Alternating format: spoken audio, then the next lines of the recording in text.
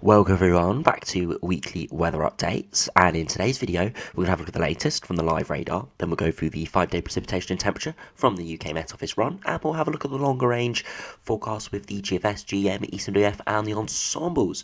And although we do have cold weather over the next few days it's going to turn milder for the start of the next working week and then by next weekend into the Easter weekend we could be seeing some quite dry and warm weather. Now it's still a good week away so there is a bit of uncertainty there but it does look like upper air temperatures will be above average, and it does look like we'll have high pressure, definitely in the south, potentially for all as well. So it could be quite a dry and warm Easter. Nothing exceptional, but temperatures could be getting back into the, to the low 20s, perhaps. Beyond that, though, there are signals once again of high pressure hanging around, maybe giving more easterly flows, starting things chillier again. But we have to keep an eye on that. Uh, and at this stage, the general trend is for warmer and drier conditions. So I'm hope, hopefully, everyone is going to be looking forward to some of that. So remember, if you enjoy my videos, make sure you like and subscribe. And remember to follow me on Twitter as well. The link's in description.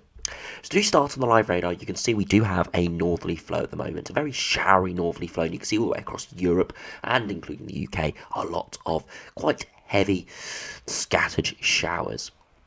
Now, the showers were much heavier yesterday across parts of England, but we still have seen some heavier pulses uh, develop. We did see a few thunderstorms yesterday with hail, some sleet and snow, and we're going to continue to see sleet and snow and hail within some of these showers as well. And especially in sort of the heavier cells, we're going to be seeing some hail, sleet and snow. Over the higher ground, more likely sleet and snow, and you can see across Scotland there is snow falling over the highest ground. But of course, this air mass is cold, it feels chilly out there, the wind chill makes it feel like sort of mid-single digits, but it's not as cold as it was a, a, week or two ago, where we saw upper air temperatures getting down to minus, minus 10 at 850 HPA. Right now it's minus 5, minus 6, so slightly warmer, uh, and that means most of the showers are rain or hail or a little bit of sleet, graupel and snow over higher ground and these will continue over the course of the evening, for they are slowly depleting over the next day or two as high pressure does move back in, but is likely to bring more widespread frosts for the next day or two before we see a milder push of air up from the southwest for uh, for the next working week. But that's going to be interesting, bringing warm, moist air up from the south. We could be seeing heavy rain for some, especially further west westwards, close to the centre of the low, and the potential seeing more widespread scattered thunderstorms, which could, of course, bring some disruption with that. But the uncertainty is quite significant with that. So we do now have a look at the UK Met Office run. Now we're going to have to look at uh, the 3 o'clock run from yesterday evening um, because it hasn't updated unfortunately for the uh, 3am run. So we can only have to look at the 3pm run. So it's a little bit outdated by like 12 hours or so. But it's nothing uh, nothing too bad. It still will have the general gist because uh, in the next three or four days things don't particularly change too much. So you can see over the course of today, we've seen all these scattered showers developing, turning a bit wintry. UK Met Office run not making too much of them once again. In reality, is a little bit uh, more widespread than this run is making out to be. And we've seen that a little bit of consistent signal over the last week or two. So perhaps that's something we need to keep an eye on as we head into more convective season in sort of the rest of April, May, June, July, uh, we do start to see a lot more pop up showers and storms, that is something we need to keep an eye on when we have a look at the UK Met Office run. Perhaps underdoing it a little bit at times, especially with convection, because you can see for England and Wales does pop up the cumulus clouds a lot. You can see those whiter clouds building, but not developing anywhere near as widespread showers uh, as we have seen in reality. Now, as I said over the course of the evening, those showers will fade away and we do have high pressure coming back in. So for many areas, clear skies. Some showers still across Scotland, but for the far, uh, for, for many central areas and eastern areas, clear skies, temperatures will plummet. But you can see out to the far west, more cloud is building in and weather fronts are approaching, and that is low pressure running in off the Atlantic, taking a bit of time to get in, uh, but by Sunday afternoon, all areas will be under thicker cloud as those weather fronts start to approach. And the, the, predominant amount of rain will be in the west, close to the centre of the high. But of course, we could see some showers uh, and the weather fronts pushing eastwards as well. But as I said, within this, we're seeing a southerly airflow instead of a northerly airflow we've had recently. So although it will be cloudy, for many. There will be quite a bit of rain in the west, on and off rain and heavier showers. It most likely will be quite warm as well. Now, these showers do spread in, and we see another little system develop again further westwards. Real heavy, thundery rain within this. Perhaps a bit of Scot- uh, snow over Scotland, still hanging on to some of the colder air. And as that sh- those showers move northwards, you can see around a little spiral low pressure system. We start to see heavy showers potentially develop. And you can see by Wednesday afternoon, heavy thundery showers develop. Where we see a bit of sunshine, that sun picking up the temperatures, we could see, yeah, some heavy thunderstorms. But you can see if we do run that back, many areas further eastwards do stay out of the heaviest rain. So definitely the east is favoured for better weather over the next week or so. It's going to be turning milder for all, but definitely favoured for better, better conditions. So we do have a look at those 2 meter temperatures, see how those uh, do compare. Now you can see uh, over the course of this afternoon we saw temperatures getting up to around 10 to 12 degrees, but feeling a good few degrees colder than that with the wind chill. Of course this evening, as I said, going to be a widespread frost, widely down to uh, minus one, minus two degrees um, at the surface, maybe even minus three or four in some rural areas. Further westwards, across parts of Ireland, it's going to be a little bit milder with that cloud building in. By Sunday afternoon, all areas starting to see cloud building, maybe a degree or two milder with that northerly airflow sort of push, pushed away. And by Sunday evening, still potential for a bit of a frost across Scotland, but many areas much milder. And you can see by Monday afternoon, perhaps 15, 16 degrees in the east. Um, under the weather fronts, though, a little bit colder than that. And you can see again, frosts are cut out widely. Uh, maybe still just over Scotland, and by Tuesday afternoon, 16 to 18 degrees, quite mild upper air temperatures coming in. Um, but where we have rain, it will be kept down into high single digits um, with that. And you can see by Wednesday, uh, evening uh, or Wednesday morning, real no chance of a frost really anywhere apart from northern Scotland. And you can see by Wednesday afternoon, where those clouds um, do clear, and we do see clear skies, you see 16 to 18 degrees, quite warm, pleasant, and muggy there. Um, and again, if we have a look at those upper air temperatures, you can see some quite warm push of upper air temperatures 10, 12 degrees at 850 HPA for a good 12 to 24 hours there, um, and that um, yeah, it's going to bring sort of muggy conditions and fuel those uh, showers, rain, um, and potentially a few thunderstorms as well. So we have to keep an eye on that. So we do now have a look at sort of the mid to longer range, have a look at the GFS first. This is the 6 o'clock run. Now, the GFS has put a spanner in the works last few days, definitely favouring more colder blocked weather in the longer term, and again, it's doing it today. So if we do run through, you can see that high pressure building in, and then we see southerly winds, warm air coming up from the south, see little low pressure systems develop within that for Tuesday and Wednesday, fueling showers and thunderstorms and that heavier uh, uh, area of rain through Tuesday and Wednesday before high pressure does build in. But dissimilar to other runs, um, it builds it further northwards and we go into an easterly flow, quite a chilly easterly flow. And towards day 10, we go back into a really cold northerly flow. Now we're getting towards the second half of April, so it's not going to be that cold. There isn't that much cold air left over the Arctic. So it's just going to be colder than average, enough, but, um, but still uh, will be widespread frost, low pressure running into it. Could see more snow risks, especially further northwards, and it just stays really unsettled and cold with that jet stream along the black line here, um, well to our south into into Europe, down into Spain and Portugal. So really quite bizarre from the GFS run. As we'll see with the ensemble members, it is a bit of an outlier, not a massive outlier, but a bit of an outlier. So you still have to keep an eye on it. Um, but yeah, it's definitely not going along with what the other runs are showing. Still showing the high pressure trends, but building it much further northwards and building in cold and northeasterly winds instead of keeping the air sort of stagnant over the top of us, building a bit of warmth, which is what the other runs are showing. So you can see cold air upper air masses at the moment, but those uh, pull away by Sunday before we see a warm push of air up from the south. Beyond that, you do see high pressure builds in, but instead of seeing warm high pressure over the top of the UK for the Easter weekend, we're putting an easterly flow, chilly, not crazy cold, but will be a little bit of a nip to the air, a bit of a wind chill out there before you see another plunge of really bitterly cold air coming out of the Arctic. Um, all this cold air flooding towards the UK and northwest Europe doesn't last long because the sun's going to warm up very quickly, but it's going to be cold, there's going to be widespread frosts again, and towards the end of the run, we stay on the cold side of the jet stream, upper air conditions below average, with the minus five line just over Scotland. There would be more snow over the Scottish hills and mountains. So yeah, very cold from this GFS run. Pretty bizarre indeed. Can't completely discount it. But I definitely think higher, warmer, warmer, warmer, higher pressure over the top of the UK is more favoured than this below average conditions from the GFS operational run. Now, if we have a look at the GEM run, which is by far the warmest run today, and we'll see it is really, really quite pleasant for the Easter weekend. Nothing crazy in terms of a heat wave or anything, but dry and warm. Um, conditions where you go out and enjoy the sunshine.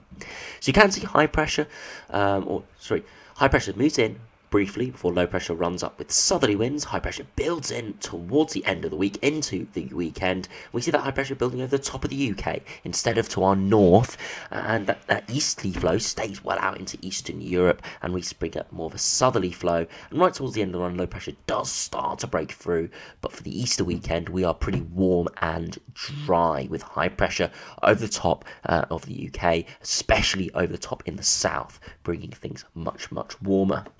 Now, if we have a look at those upper air temperatures, you can see cold at the moment, warmer push of air early this uh, early this coming week, and then high pressure built in with reasonably warm upper air temperatures, and you can see sort of between 5 and 10 degrees at 850 HPA quite widely, would give really quite warm conditions towards the surface, and if we do run it back and just have a look at those temperature deviations, you can see nothing crazy, but a good 4 to 8 degrees above average, really quite warm and could be quite hot actually over the course of Spain um, and France and Portugal.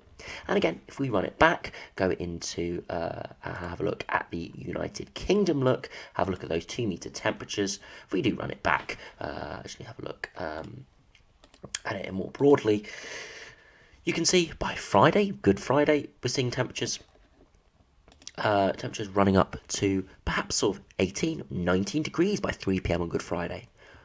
Cold overnight with high pressure, so temperatures will be dropping, but by uh, Easter Saturday, um, you can see widely getting up towards 18, 19, 20 degrees, quite widely. And once again, for Easter Sunday, 18, 19, 20 degrees. Again, this is the broader map. If we do have a look sort of locally, uh, more microclimate, widely we would be seeing temperatures probably get up into the low 20s in a few spots. Um, and you can see it's warm pretty much everywhere, even to Northern Scotland getting to the mid teens. So looking very, very warm. And by Easter Monday, even warmer widely 18 to 20 degrees. And perhaps as i said again locally could be much much warmer than that for the easter weekend.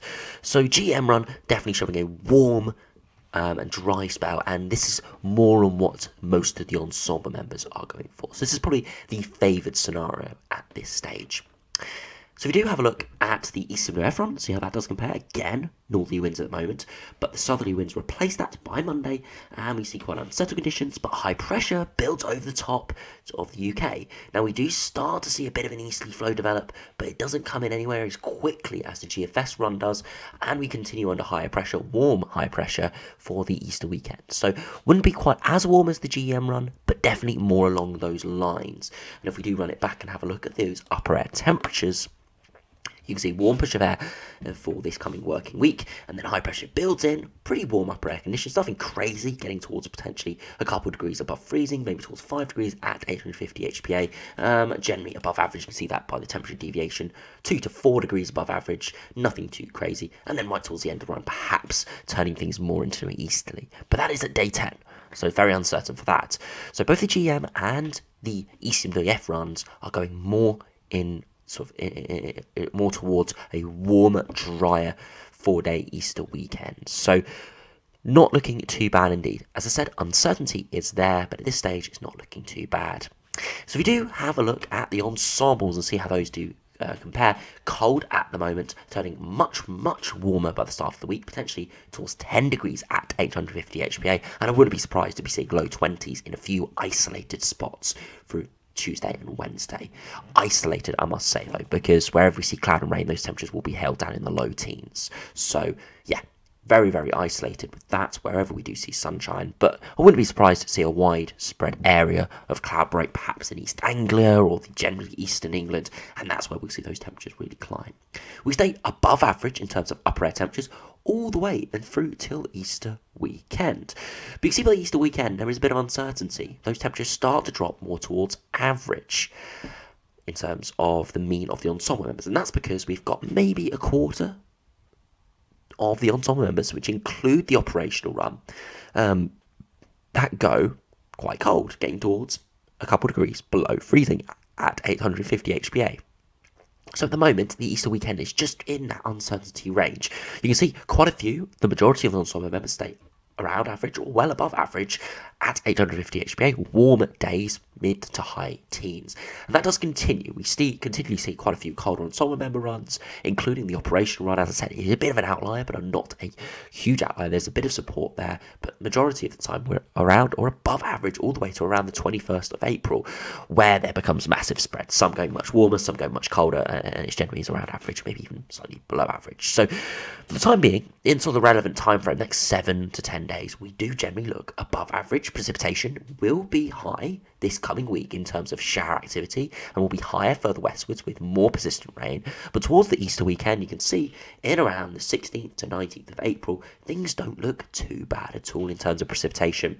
And we can emphasise that by having a look at the sea level pressure, which is generally high for the Easter weekend from 16th to 18th of April, that sort of period, is generally higher pressure. So it's looking pretty decent. And if we have a look at those 2 metre temperatures and precipitation, you can see cold at the moment, early this coming week, perhaps getting towards 16, 17, 18 degrees, and that's sort of continuing. Perhaps towards the Easter weekend, you see a bit more of a drop off because we have some colder ensemble member runs, including the operational run. But a lot of those warmer runs are still getting up towards 15 to 20 degrees. And again, locally with microclimate, most likely we could see low 20s with some of these conditions.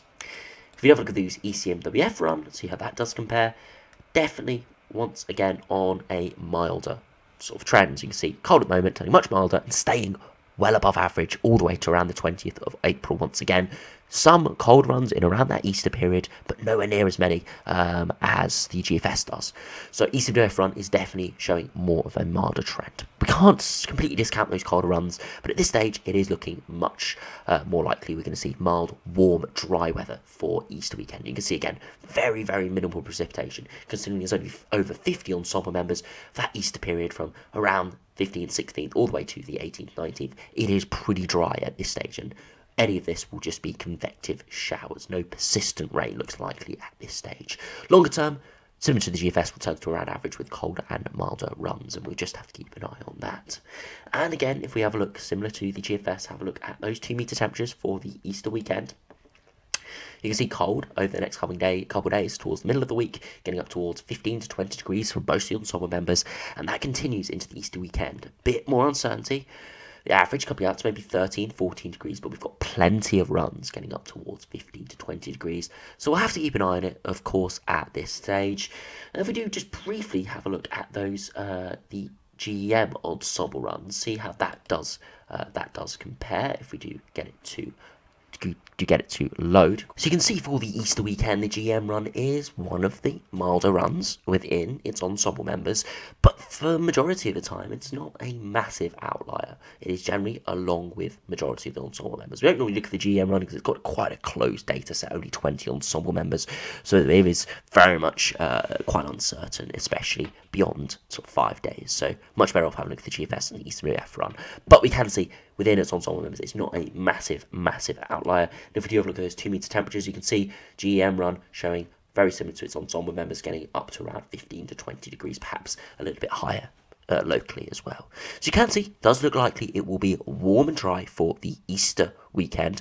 I can't guarantee at this stage, but that's the most likely scenario.